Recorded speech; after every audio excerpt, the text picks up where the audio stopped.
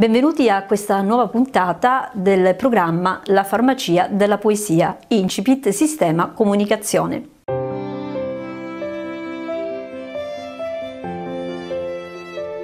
Se devo dire cos'è per me la poesia, allora dico che è presenza, anima, essenza, è il linguaggio della natura, ossimoro che cura, sguardo che evolve, parola che assolve.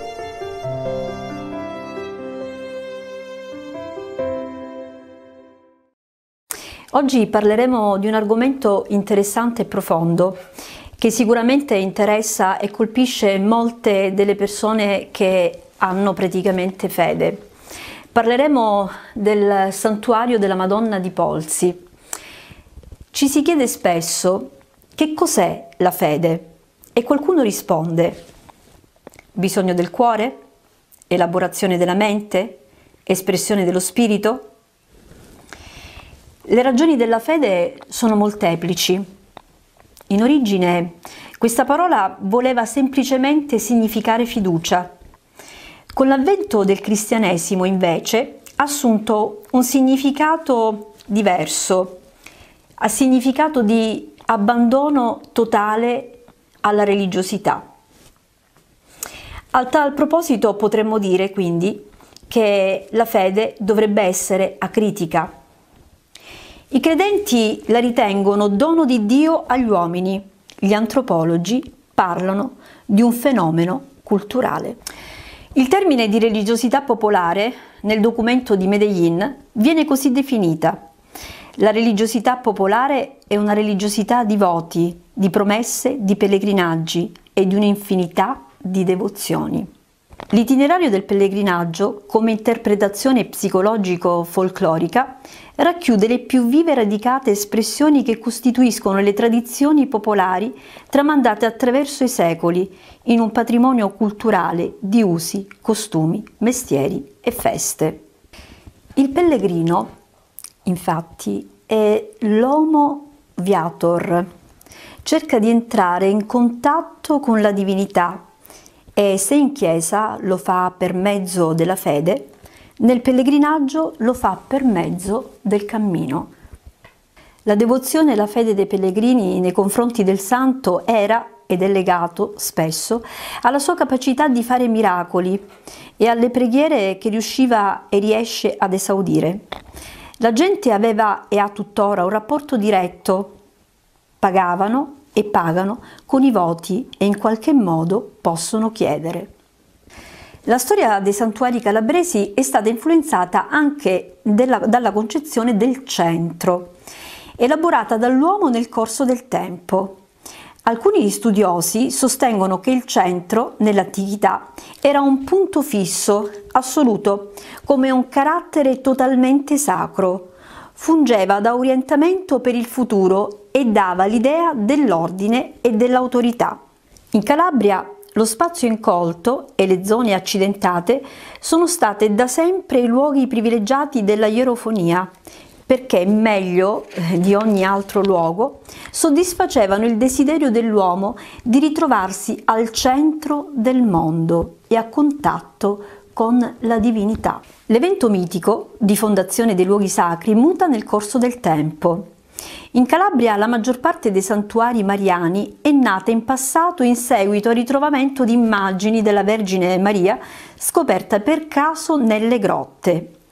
Il cacciatore, infatti, che inseguiva il cinghiale o il pastore che cercava la capra smarrita, giungeva alla scoperta dell'icona, a volte dopo un avvenimento meraviglioso come una visione oppure una luce improvvisa. Tra i santuari più celebrati in Calabria dalla tradizione popolare ricordiamo sostanzialmente quello della Madonna di Polsi. Il santuario della Madonna di Polsi, o Madonna della Montagna, si trova presso la frazione di Polsi, comune di San Luca, provincia di Reggio Calabria, nel cuore dell'Aspromonte. Nel periodo tra primavera e ottobre la vallata si popola di una grandissima vastità di pellegrini che vanno proprio appunto a rendere omaggio alla Vergine Maria.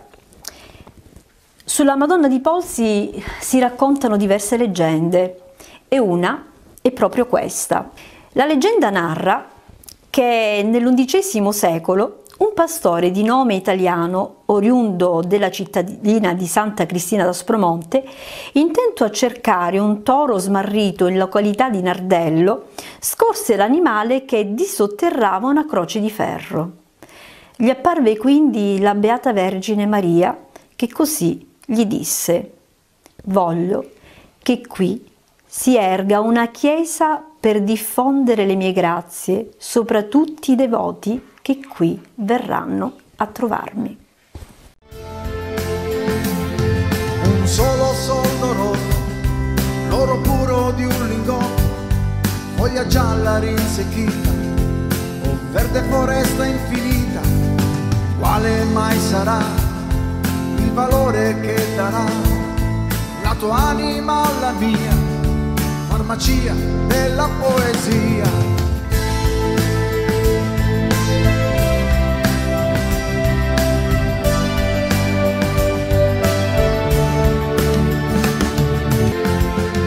un'insolita magia ti cerca lungo la via, mollica cade da tovaglia, muore di formica paglia, generosa e molto grata, il fato l'ha trovata, la tua anima fatata, poesia l'ha risvegliata, dietro le tue angosce, adesso riconosce la tua diversità dentro la fragilità, la penna e il calamaio, la formica e il formicaio,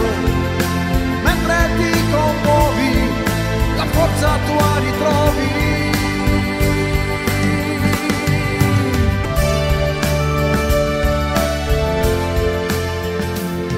Se ti affidi fiduciosa, giunge cura generosa.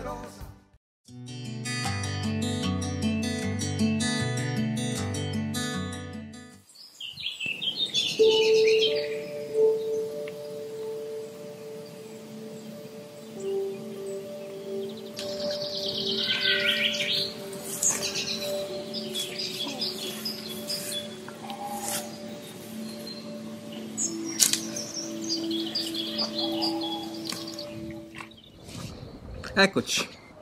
Cara Rosy, sto per andare a Polsi e prima di partire volevo la tua benedizione, ma soprattutto il tuo augurio per questa gita che non è una gita, ma è un vero e proprio pellegrinaggio nel cuore della spiritualità vera, sacra della Spromonte. Quello che io sento in questo momento di dire è che c'è bisogno è solo ecco, di pregare per tutti noi e di darci questa pace dentro Bene. di ritrovarci. Bene, bacino di benedizione. Certo.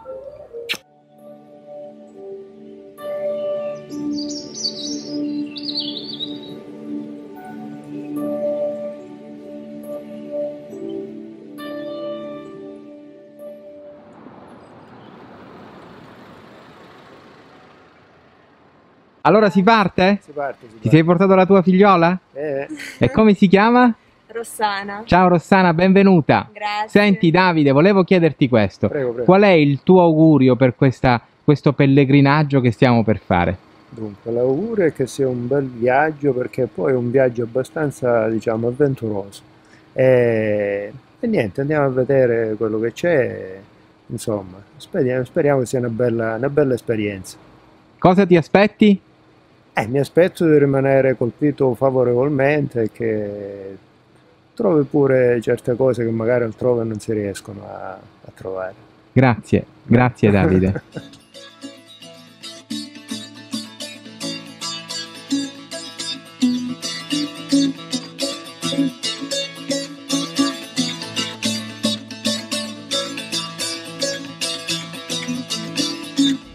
E allora siamo qui, abbiamo alla mia sinistra Rossana, appena tornata da Ruanda in Africa, e ora con lei stiamo andando a Polsi, il santuario di Polsi. E a lei chiediamo, Rossana, che Sì. cos'è per te Polsi e perché ci stai andando oggi?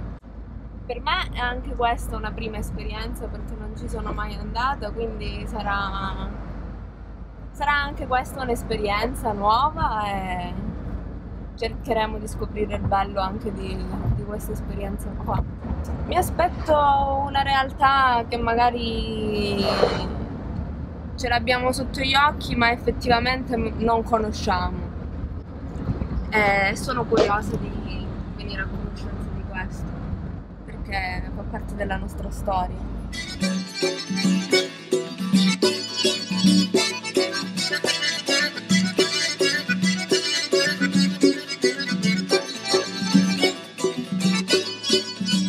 Ci siamo! Siamo sulla strada per Polsi, abbiamo già fatto un primo pezzo di strada, è veramente magico il, i posti che si attraversano, la vegetazione che si vede e anche la ricchezza di tutto quello che è la pulizia dell'aria. Adesso siamo su questa strada e proseguiamo ancora per circa mezz'ora, tre quarti d'ora fino ad arrivare al santuario. Ci vediamo fra poco. Ciao!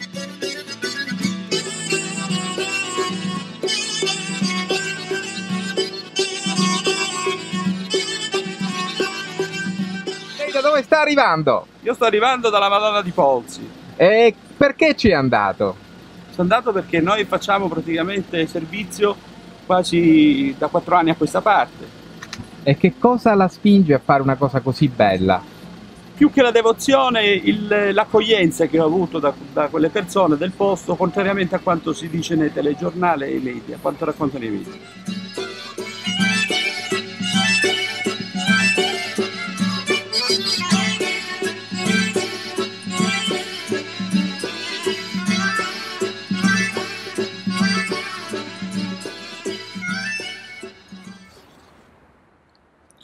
Fondo apparteniamo tutti a luoghi così belli, questa bellezza ci appartiene. E se dovessi dare una parola a, a quello che più di tutti mi colpisce attraversando questa strada per arrivare al santuario, direi, direi struggente, la bellezza struggente delle rocce che fanno da base alle querce secolari, con piante selvatiche come il melo, il pero, l'erica arborea, il lentisco, il mirto, le more selvatiche, eh, ma è tutto un insieme di piante e di rocce che rendono questo attraversamento particolarmente toccante, non ti lascia così inalterato questo passaggio, questo percorso, ti tocca e arriva alla parte più selvaggia del tuo animo.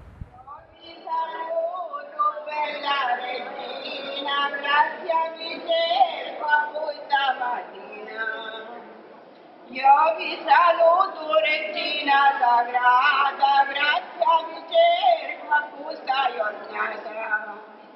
E che, che non vennero dimenticati, sempre chiamata Siti, regina della pace e quelli che non vennero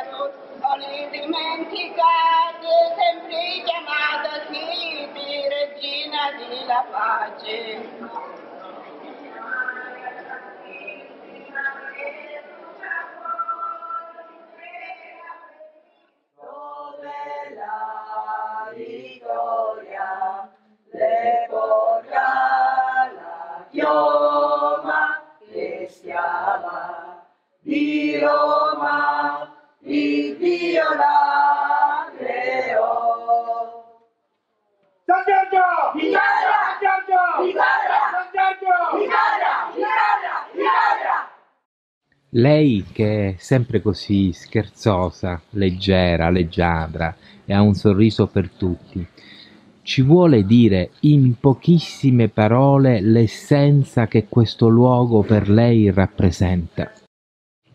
mi sento appieno, in pace, mi sento veramente figlia di Dio tra queste montagne, tra questa gente, con la mia comunità, con i miei amici, con la- col sorriso della gente semplice. È veramente un luogo come tutti noi abbiamo da dire, è un luogo magico che ti dà poi una carica incredibile.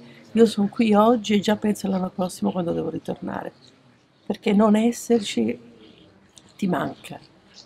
Qui è un luogo insomma mistico perché essendo un luogo insomma dove si, si prega un po' si riscopre anche se stessi, si riscoprono, si riscoprono tante cose che magari durante l'anno non vengono messe in risalto e qui riesci a, ritrovare un pochino te stesso, la tua persona, con le tue paure, con le tue contraddizioni, ma che poi si, si trasformano anche in speranza, fiducia, voglia di, di fare, di continuare, voglia di vivere, voglia di, di fare sempre qualcosa di buono, di positivo. Vorremmo chiederle cosa significa per lei essere qui.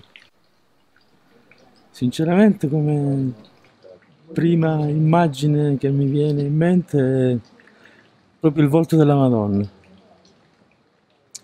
perché lo ritengo un volto bellissimo. E poi questa regina, perché praticamente ha, porta anche una, una corona, non ha un trono, ma una semplice sedia. Per cui questo contrasto tra, ehm, eh, tra questa eh, magnificenza, insomma, la corona d'oro, che esprime grandezza, eh, una, qualcosa di veramente grande, no? E questa immagine di questa donna che porta in braccio un bambino seduta su una sedia che accoglie migliaia di pellegrini, che esercita una forma di attrazione veramente incredibile, è come una calamita che attrae migliaia di persone. Ecco perché ogni anno ci ritroviamo qui senza sapere il perché, come se fossimo spinti da una forza che, sconosciuta, per cui abbandoniamo sempre i nostri problemi, le nostre, nostri, i nostri impegni, proprio per ritrovarci pochi giorni, ma vissuti in maniera intensa. L'essere qui e, e, e sentirmi me stessa, libera. È un luogo proprio che ti prende dentro, dove ti dà una carica, un'energia non, non normale. Quando si torna poi giù da qua e senti proprio carico, pulito, puro. L'essenza della, della, della vita per me è cinta da queste montagne così eh, forti, così imponenti, che noi chiamiamo Aspromonte, ma in realtà non è un Aspromonte. È una, una, un senso di accoglienza, di protezione. È stupendo, essere qua è, è qualcosa che spero che la Madonna ci aiuti a tornare finché ce la facciamo. Troppo bello. È una bella esperienza e invito tutti quelli che non l'hanno fatta a venire qua alla Madonna di Porsia. È indescrivibile perché quando vieni qua ti dimentichi di tutto e vai gli dai tutto il tuo amore agli altri. Aiuta gli altri, fai nuove conoscenze, nuove esperienze ti annulli, diciamo. Ed è bellissimo. Queste sono le poche, pochissime parole in cui si può riassumere la nostra esperienza. Che cos'è che l'ha emozionata di più in assoluto?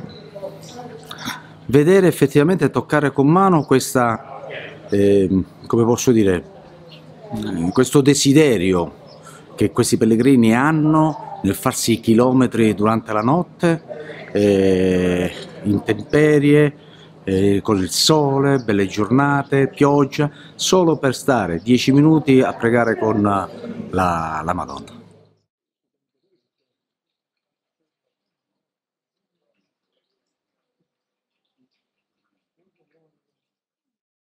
Accanto a me Don Tonino, rettore di Porsi, di questo santuario magico, mistico, a cui vogliamo rivolgere poche, semplici domande, anche perché il tempo è poco, sono le giornate della festa, bisogna dedicarsi a mille più cose, alcune si programmano, altre arrivano momento per momento, credo, no? Sì. Ora a Don Tonino, che è qui ormai da quanto tempo? Eh, due anni. Due anni. Vogliamo porre una domanda diretta e precisa. Don Tonino, cos'è l'anima di Polsi? Cosa anima questo incredibile magnetismo e questo fervore devozionale commovente e toccante? Ma penso che innanzitutto il luogo stesso, il luogo in cui si trova, dà a chi arriva un senso di profonda spiritualità, di profondo benessere interiore, per cui eh, la bellezza di questo luogo è appunto la, il silenzio, la spiritualità, eh, l'accoglienza, eh, la possibilità veramente di incontrare Dio. Eh, è un luogo secondo me privilegiato per incontrare il Signore. E tutto questo fa di Polsi, a mio avviso, una, un luogo unico. Eh, quindi eh, chi vuole veramente trovare un momento di, di silenzio interiore, di, di, preghiera interiore, penso che Polsi sia il luogo più adatto. Grazie Don Tonino e vogliamo chiederle una domanda intima, ma che lei può, che ha la facoltà anche di rispondere o di non rispondere. La cosa che più di tutte in questi due anni l'ha colpita, commossa, toccata? I pellegrini. Io dico sempre che il vero volto di Polsi sono i pellegrini, eh, perché i pellegrini arrivano qui con tanta devozione, arrivano qui con tanta fede, arrivano qui con tanta speranza, perché è gente che soffre e quindi raggiunge Polsi per avere una speranza. E, e quindi eh, i pellegrini sono coloro che fanno capire chi è, che cos'è porsi. Quindi non tutto quello che si dice, ma quello che si vive. Per cui per conoscere porsi, a mio avviso, bisogna venire qui a porsi e, e vivere quella che è la quotidianità, quella che è il contatto con la gente, quello che è la sofferenza della gente. Ecco, questa è la cosa che mi ha colpito di più, eh, la devozione, la, la fede di questi pellegrini che arrivano qui a porsi ha un'immagine particolare che le viene in mente? Ma ce ne sono tante, devo essere sincero. In due anni ho avuto modo di fare diverse esperienze, forse eh, due in modo particolare. Il primo, non togliendo nulla alle altre carovane che arrivano qui a Polsi, ecco quello che fa più effetto anche a livello emotivo è la e la carovana di Messignani, che sono 300 giovani che arrivano qui a Polsi eh, cantando, piangendo ed è molto emozionante vedere 300 ragazzi, ragazzi e ragazze che sfilano per andare a salutare la Madonna piangendo. Ecco, questa è un'immagine molto, molto bella, come molto bella e anche significativa è la gente che arriva qui a Polsi in ginocchio per, per chiedere le grazie o per ringraziare la Madonna. Ecco, sono due immagini diverse ma che dicono cose Polsi. Che cosa chiede alla Madonna di Polsi per questi giorni di festa che stanno arrivando? Ma no, quello che chiedo non, non, è soltanto per questi giorni, lo chiedo per, diciamo per sempre, che la, la gioia, che dia gioia alla gente, che dia speranza alla gente, che dia forza alla gente. Ecco, la nostra gente ha bisogno di, di speranza, è, è, un popolo scoraggiato per tanti motivi. E, allora chiedo alla Madonna che dia a tutti noi la speranza che non delude, che è una speranza che ha un nome ben preciso, che è Gesù Cristo. Salutiamo chi ci sta guardando e a loro cosa vogliamo augurare? E auguriamo ogni bene sicuramente e ogni benedizione da parte della Madonna, che la Madonna eh, possa esaudire, esaudire tutte le grazie che avete dentro il cuore. Quale mai sarà il valore che darà la tua anima o la mia, farmacia della poesia? E per concludere questa puntata direi che le parole le abbiamo esaurite perché comunque sono bastate solo le immagini per raccontarci tutto quello che volevamo dirvi. Grazie e alla prossima puntata. farmacia della poesia, la penna il calamaio, la formica al formicaio,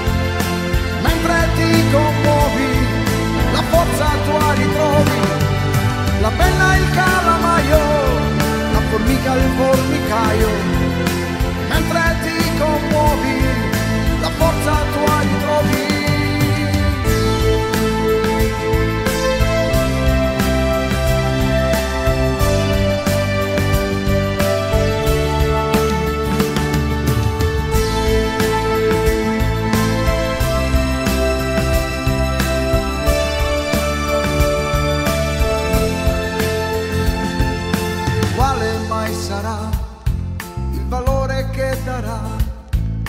la tua anima alla mia, farmacia della poesia.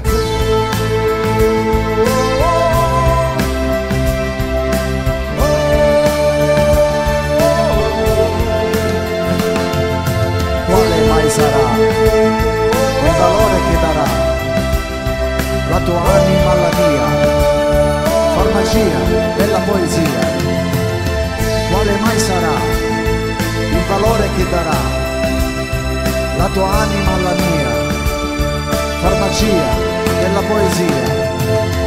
Quale mai sarà il valore che darà la tua anima alla mia? Farmacia della poesia.